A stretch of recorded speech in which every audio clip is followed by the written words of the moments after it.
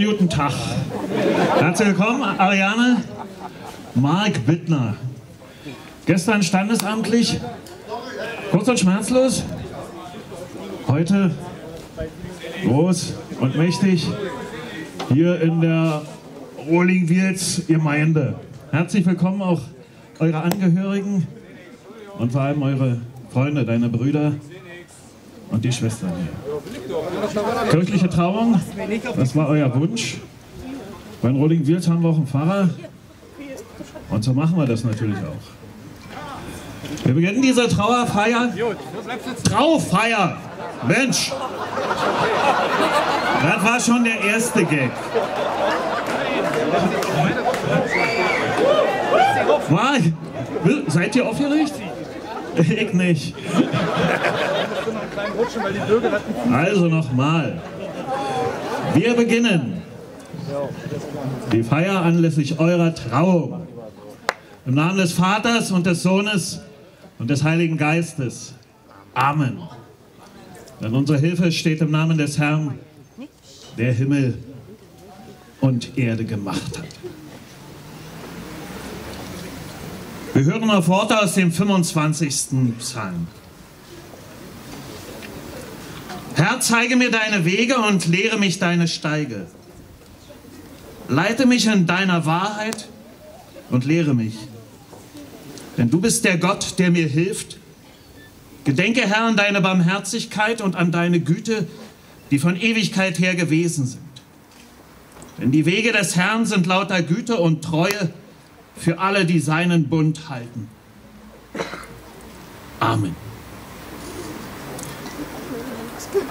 Wir hören jetzt Musik.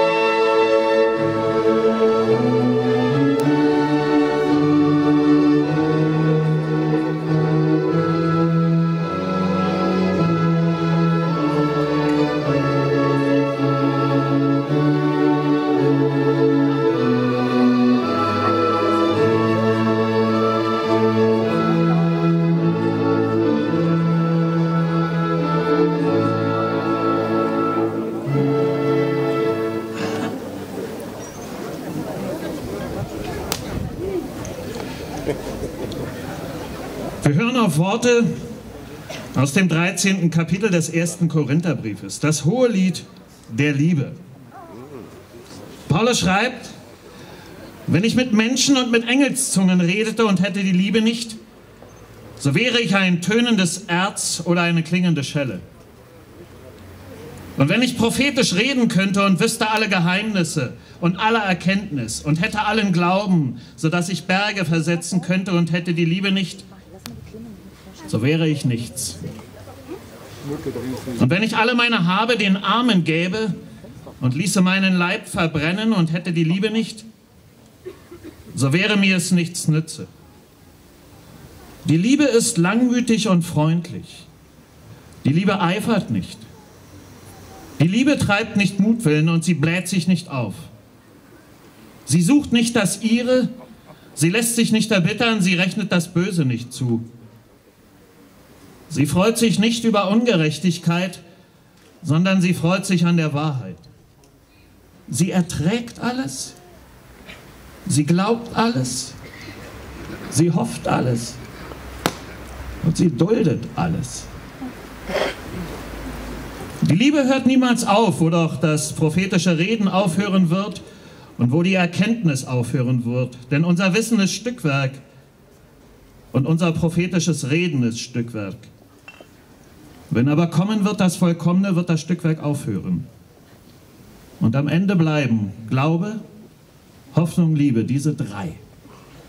Aber die Liebe ist die größte unter ihnen. Amen. Always on my mind, Willie Nelson.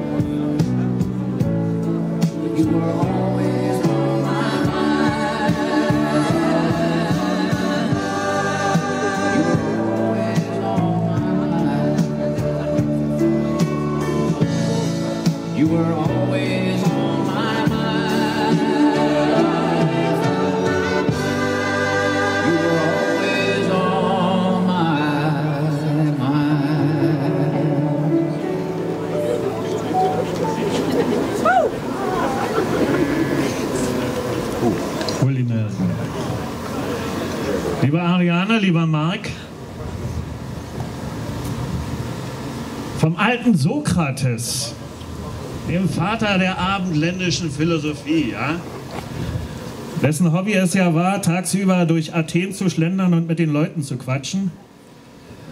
Seine Frau Xantippe fand das nicht so gut und wenn er das Haus verließ, dann gab es schon mal einen Eimer Jauche über den Kopf.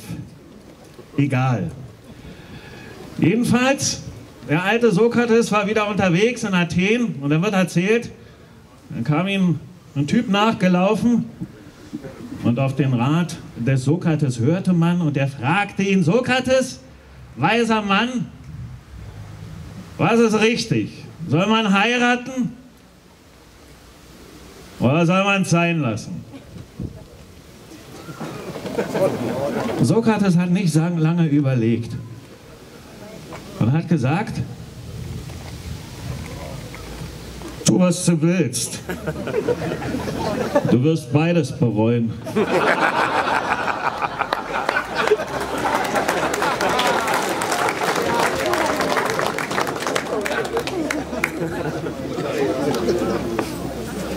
Andersherum wurde auch oft gefragt, wie es mit dieser Frau Xantippe aushält.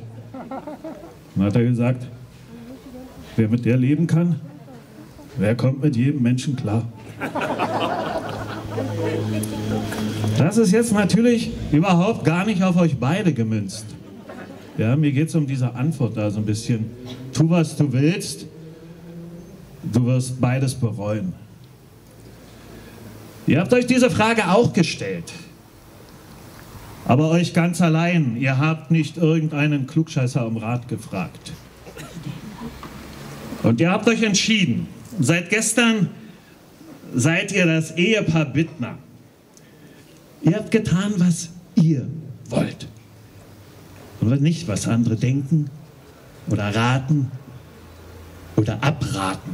Das sind ja wohl immer ein paar mehr, die so negative Erfahrungen mit der Ehe haben und die dann grundsätzlich schlecht reden. Aber wir schaffen ja auch nicht die Zahlen ab, bloß weil manche nicht rechnen können. Von daher habt ihr getan, was ihr wollt.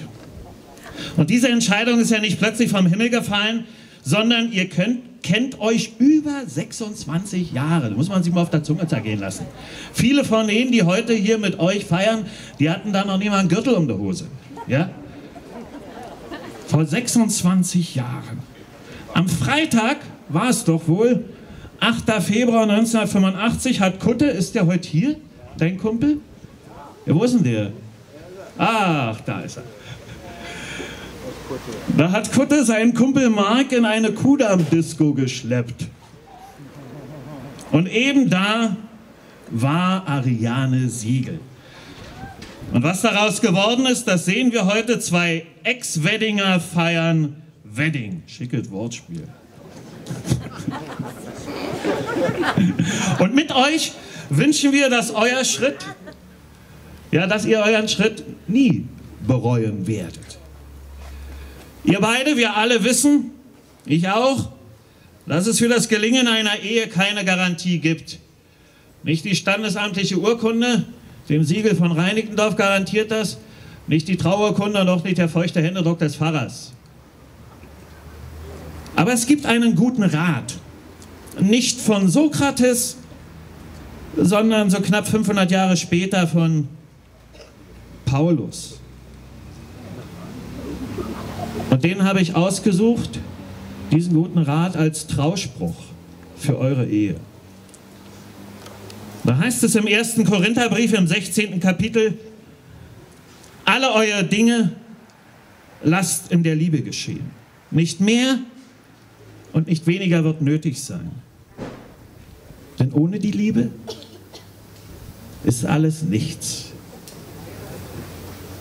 Selbst das Tragen einer Kutte ist ohne Liebe zum Club. nichts, sondern nur verkleiden. Alle eure Dinge lasset in der Liebe geschehen, das soll euer Wort sein. Das kann man sich gut merken, das geht einem vielleicht auch noch leicht über die Lippen, aber es ist nicht ganz so einfach, das zu leben.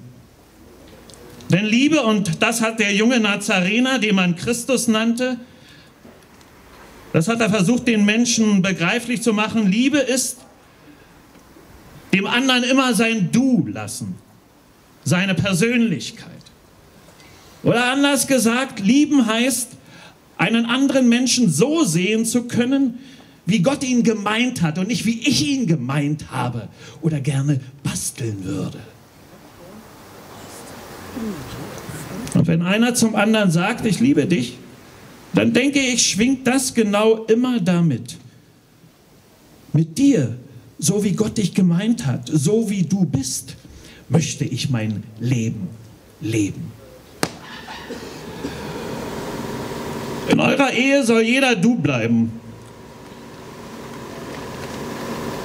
In eurer Ehe soll jeder seine Biografie einbringen dürfen. Was ist denn das da? Aggregata. Der liebe Gott ist es nicht. In eurer Ehe soll jeder seine Geschichte, seine Begabung, aber auch seine Fehler und Macken einbringen können. Deshalb heißt es manchmal auch, dass man das Du des anderen aushalten und ertragen muss.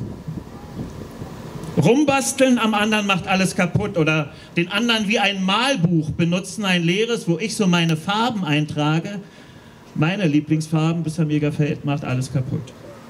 Ihr beide, ihr kennt euch sehr lange und ihr habt das wohl auch immer so gehandhabt. Ich muss euch ja nichts erzählen.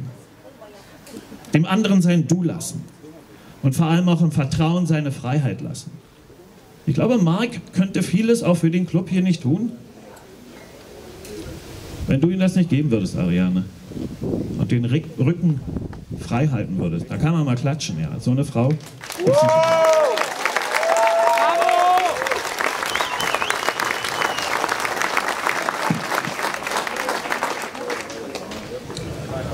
Und so ist eure Beziehung über die Jahre nie zum Gefängnis geworden für den anderen. Alle eure Dinge habt ihr in der Liebe geschehen lassen. In guten wie in schlechten Zeiten, wie es heißt. Eure gemeinsamen Jahre haben euch geprägt. Und ihr wisst und ihr habt erlebt, wie es ist, wenn von heute auf morgen scheinbare Sicherheiten wegfallen. Ihr wisst, wie es ist, wenn von heute auf morgen scheinbare Freunde Versuch nein, die Beine wegzuhauen. Und alles zusammenzubrechen droht. Auf diese schlechten Zeiten habt ihr gemeinsam durchgestanden, habt euch durchgekämpft und verlässlich zueinander gestanden. Die Chemie stimmt, sagt man, und wir wissen noch aus dem Chemieunterricht, erst unter Druck und Hitze entstehen die besten Verbindungen. Die beste Verbindung weil einer sich an der Liebe des anderen festhalten kann. Das ist nicht selbstverständlich, sondern, wie ich als Pfarrer natürlich sage, ich denke, wie auch ihr denkt, das ist ein Geschenk Gottes und das ist ein Segen. Und der möge bei euch bleiben. Lasst alle eure Dinge in der Liebe geschehen und haltet euch daran fest. Und ihr werdet den alten Sokrates Lügen strafen, ihr werdet es nämlich nicht bereuen. Amen. Amen. Und jetzt kommen die Scherben, halte ich an deiner Liebe fest.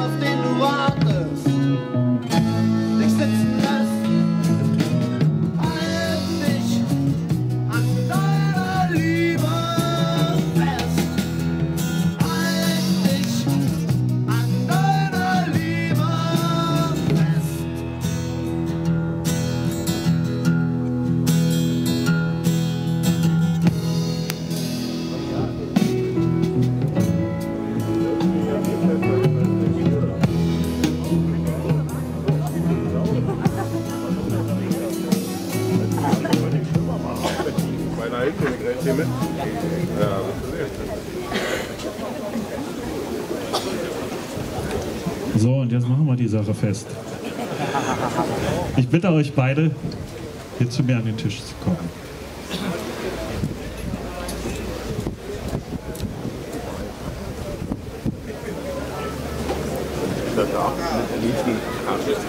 Hört nun die Worte der Heiligen Schrift für euren gemeinsamen Weg. Da heißt es im Buch Genesis, im ersten Buch Mose, Gott schuf den Menschen zu seinem Bilde, zum Bilde Gottes schuf er ihn. Und er schuf sie als Mann und Frau. Und Gott segnete sie und er sprach, seid fruchtbar und mehret euch und füllet die Erde und machet sie euch untertan. Und Christus spricht im Matthäusevangelium, Darum wird ein Mann Vater und Mutter verlassen und an seiner Frau hängen, und die zwei werden ein Fleisch sein. So sind sie nun nicht mehr zwei, sondern ein Fleisch. Und was Gott zusammengefügt hat, das soll der Mensch nicht scheiden. Und Paulus schreibt im Epheserbrief, ertraget einer den anderen in Liebe und seid darauf bedacht, zu wahren die Einigkeit im Geist durch das Band des Friedens. Denn wir sind Glieder seines Leibes. Amen.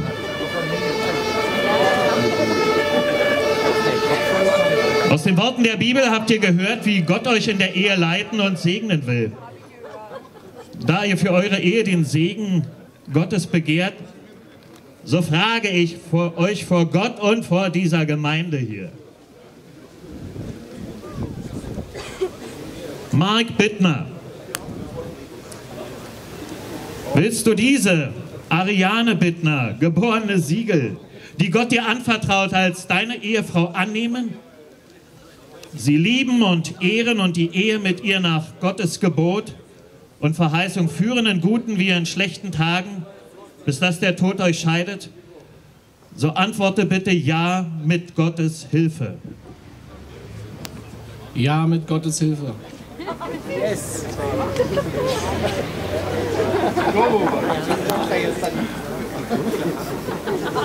Ariane Bittner, geborene Siegel, willst du diesen Mark Bittner, den Gott dir anvertraut, als deinen Ehemann annehmen, ihn lieben und ehren und die Ehe mit ihm nach Gottes Gebot und Verheißung führen, in guten wie in schlechten Tagen, bis der Tod euch scheidet, so antworte bitte ja mit Gottes Hilfe.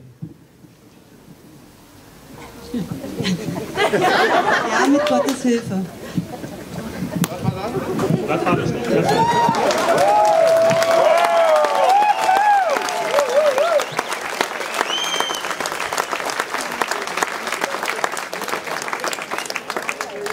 Jetzt bitte ich Klaus, der soll die Ringe haben, Trauzeuge, nach vorn, dass er euch die Ringe, hat er nicht verbummelt, überreicht. Und dann gebt einander die Trauringe und tragt sie als Zeichen eurer Liebe und eurer Treue.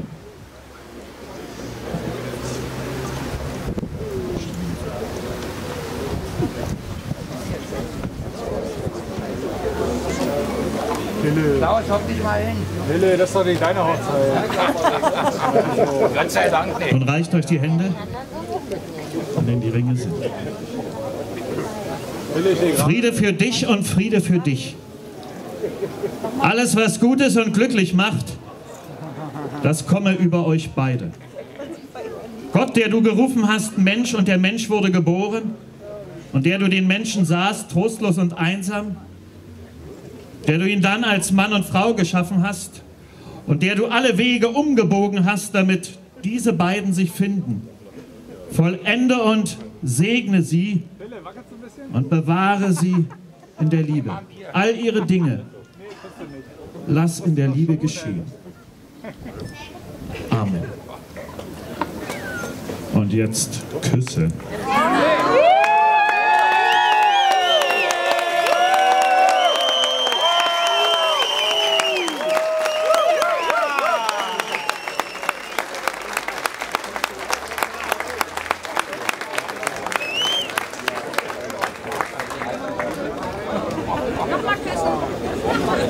Das Trauurkunde, schon gerahmt. Dass die nicht so irgendwie in den Akten verschwindet, wird es ja auch nie, sondern die bei euch hängt. Trauurkunde, alle eure Dinge lasset in der Liebe geschehen. 1. Korinther 16, 4. Mark und Ari- Ariane Bittner am 25. Juni 2011 im Hit Headquarter Rolling Wheels MC Frank Schneider Pfarrer, bitteschön.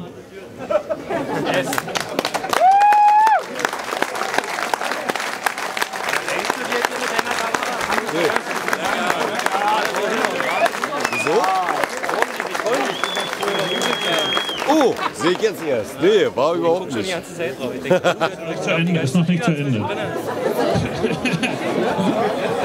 Sehr witzig. Sitz. Nö, das war's noch nicht mal. Nee, nee, noch nicht. Wir wollen noch beten für unser Brautpaar.